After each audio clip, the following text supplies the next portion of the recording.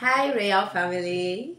Welcome to another episode on the Queen with a Difference podcast. I am Favor Kwemi and I am the Queen with a Difference. So, on today's episode, we are going to be talking on something that I termed, on a topic that I termed the only duty of every singles.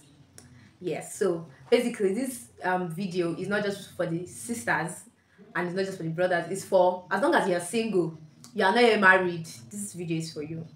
And today i'm going to be telling you the only thing the only duty that god has for us and the only duty that we are supposed to do we are obliged to do.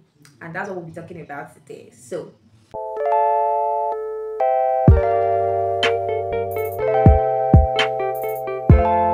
are new here, welcome. And this is Favor Okpeyemi. On this podcast, we talk on about everything related to ladies, godly living, sexual purity, and lifestyle.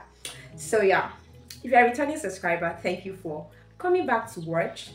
And please, I want to encourage you to do well to watch till the end of this video. If you're watching this video and you have not subscribed to this channel, please do well to subscribe, like this video so that YouTube can recommend it to more persons, and do well to turn on your notification bell so that anytime I upload a video, you will be the first to receive it.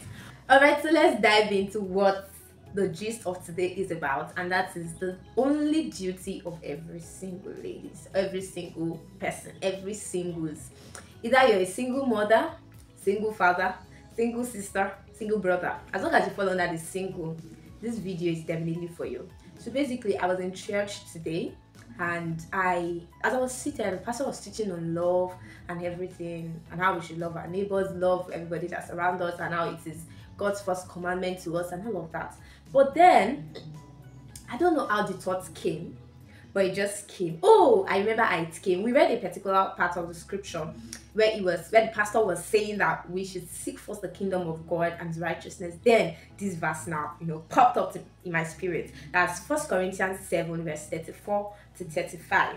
It says that there is okay, 34 says there is difference also between a wife and a virgin. The unmarried woman careth for the things of the Lord, that she may be holy both in body and in spirit.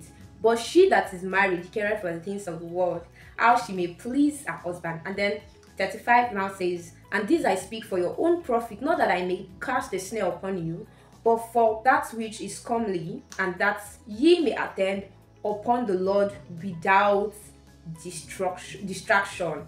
When I read this, of course, this is not my first time of reading it, I've read it several times, and this has always been on my mind. This is where the duty of every single person lies.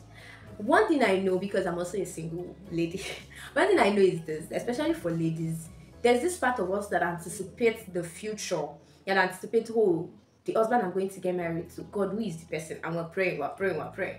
God, how many children do I want to have? Nobody has come to ask me out in these last three months, in these last two months. And you're already thinking, oh, this is my friend, this is my male friends. Out of all of them, even if I'm going to marry, who am I going to get married to among all my male friends? You're thinking, let this brother just come and ask me out. Oh God, I'm going to be. Which other thing do we used to think of? Oh, the person I'm going to marry has to be this, has to be that, has to be has to be tall, has to be dark, has to be taller than me. I can't marry someone that is shorter than me. He, he should have money. He has to be sound intellectually. Like our intelligence must be able to match. These are some of the things that we think of, we think about, we fantasize over, and of course, they are not totally bad. It's not good to fantasize, but like thinking on some of these things are not bad.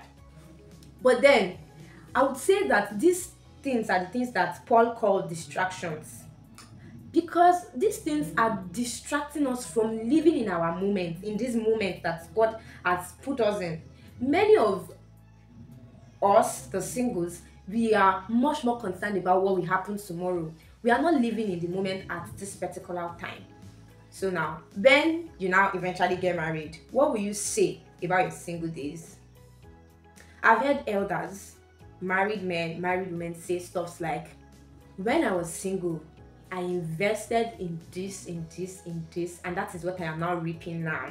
As a single lady, as a single brother watching me, I want to ask you, what are you investing in? It is good that you invest in so many places. Recently, a verse has been coming to my mind sow your seeds that's that should be in Ecclesiastes. I was saying that you should sow in different places because you don't know which one that will come back to you. It's good that you invest. But I want this is like a wake up call to every singles that your life is not just dependent on your marriage. That's why you see some people are so desperate to get into a relationship, and at the end of the day, because of their desperacy, this they eh, they enter a toxic relationship that they cannot come come out of, or that they find it out eventually come out of. No, God don't want that kind of life for us. Now let me tell you what our duty is. Our duty is to invest, but what are we supposed to invest in? because some I see some men they they also fantasize about the kind of house, the kind of money, the kind of money where I go get safe eh? ah any lady where I talk to you know how would they say it? any lady any lady that they talk to will not be able to say no to them some guys have that kind of mentality some guys have the mentality that oh let them have this money first and then ladies will start chasing them some guys are just after money money money let me be this rich let me be this that let me and they are just all over but this is not what God has called us into. This is not what God has called us to do. As a single lady, as a single man, here's the here's our duty, and here's where our duty lies. It says that the unmarried woman cared for the things of the Lord. Do you get that? Somebody who is unmarried, this is where our duty lies. Cares for the things of the Lord that she may be only both in body and in spirit. This is what God expects of you as a single lady. God wants you to spend more time with Him. He wants you to invest in your, you know, communication with Him, in your relationship with Him. You see, I, I used to picture this thing that the time a lady is free is your university days, and that's like the time you're most single. That, that's the time you can like begin to call yourself, oh, I'm a single and this because as long as you, you're still a child and you're still staying with your parents, you are a child, you get. But the moment you get to university, then maybe you're living alone. Some, most, some some people still go to university from their you know parents' home and all of that. But then the, that moment when you're grown up, you begin to classify yourself as oh I'm a single, I'm this and that and all of that. Singlehood is not just somebody that is ready to entangle or somebody that is ready to be engaged or somebody that is ready to be to be in a relationship. It is more than that.